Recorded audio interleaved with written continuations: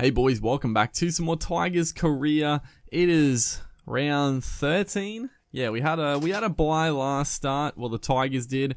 We obviously have been just back from Origin, where the Blues got up, unfortunately. Uh, but I mean, I guess it's good news for for the Tigers. the boys coming back from the Blues camp are going to be in full full form. They're going to be in com uh, confident mood as uh, taking on the Titans here, who are good. They're they're actually really good on this game. I I talked about it last time we versed them, but yeah, I, I still have fond memories of our Titans career mode on this game. Josh Hoffman is on the bench. He's probably the best player on this game.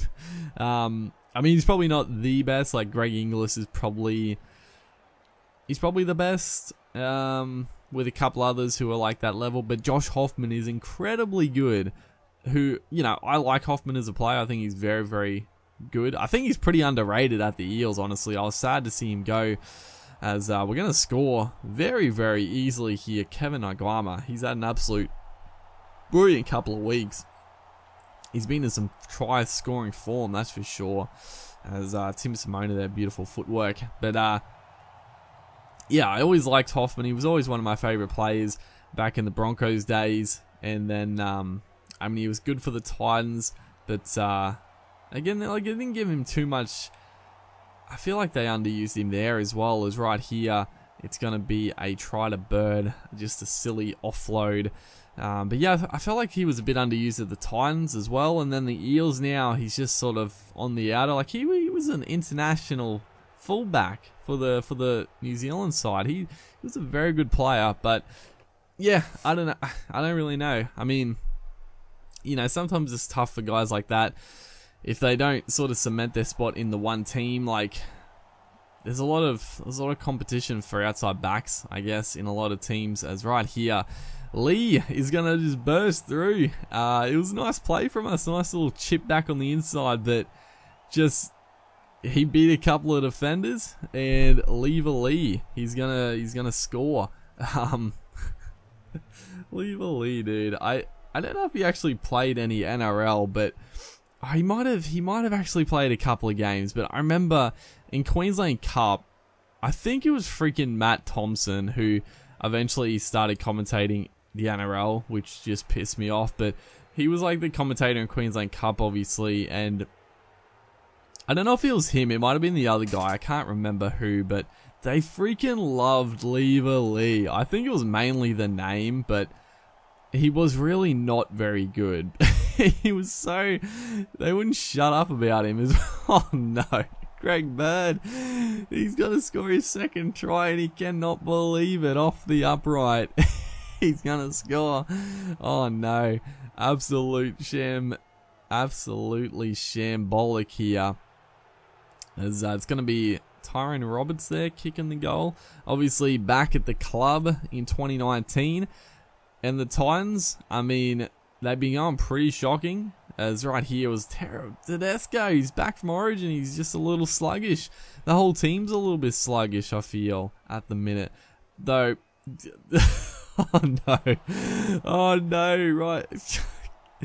you wouldn't read about it. You wouldn't dream about it. Ryan James is going to score their fourth try the second in a row off the crossbar, not the crossbar, the upright. I just what what do we even say at this point? As uh, we're gonna attack off the kick return, Kevin Naiqama again tackled there by um is it Kevin Gordon? Is Kevin Gordon at the club?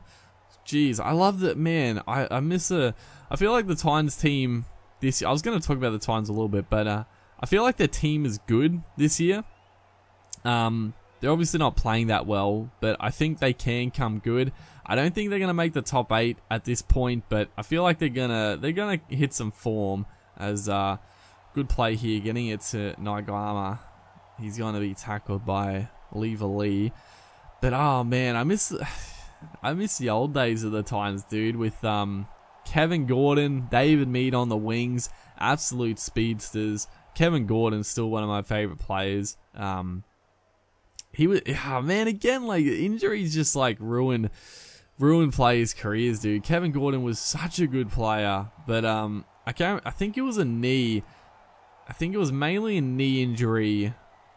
I think that sort of screwed him up, and then I um during like the off season he was like sort of bulking up a bit. I mean he couldn't really do any running, so he sort of he started bulking up, doing the doing the weights, and he came back and he just he was still like a solid player when he came back, but he'd lost a lot of that just incredible speed he used to have as like a like a small player. He was very very small back in his back in his prime. He would have been he would have like he barely would have been 80 kilos, surely. He was extremely small.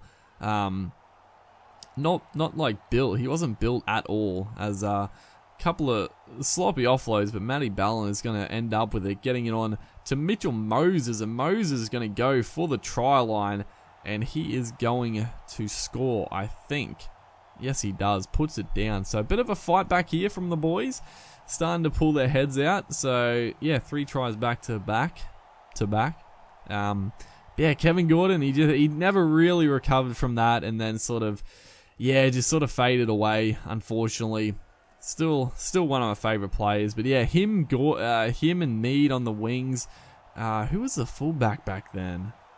Jeez, I can't even remember. Um, but yeah, like even like back, like when they first came in, like Matty Rogers, Scotty Prince at the club.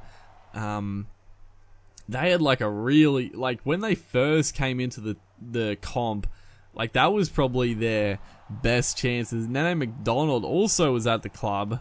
Um, bit of a blue letting McDonald uh, McDonald go, but um, you know the money's hard to sort of keep everyone, I guess. Unfortunately, that's gonna probably be the end of our little fight back.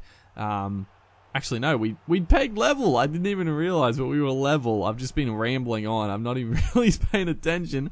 Oh, that was a big try to McDonald, as uh, it's going to be Zeb Taylor, also, former player. Even like, yeah, like Nathan, no. Oh, what was his name? Matt Srama. Right here, oh no, this is terrible. Tedesco's had an absolute shocker at the back. It hit his like leg, I think, and it's going to go in touch in goal. But uh, yeah, Matty Srama, he was a very good dummy half. They had Kieran Kieran Mosley was a bit later, but yeah, back in the day, dude, they had like such a good um a good team. And like I was gonna say, probably the first couple of years they were in the comp, that was probably like their best chance. that was like their best chance to actually win the comp, as uh, Anthony Don is gonna score the match winner for sure right there. 36 to 24. Oh boy. We probably should have won this game, but we've just let it go badly. Um, but yeah, they they um, it's probably like it's the best they finished as well, and it shows. But yeah, they've um, they haven't really found that again since a lot of those players retired. So yeah, unfortunate. But there we go. They beat us quite comfortably here. Very poor play. Hopefully, you guys enjoyed it, and I'll see you in the next one.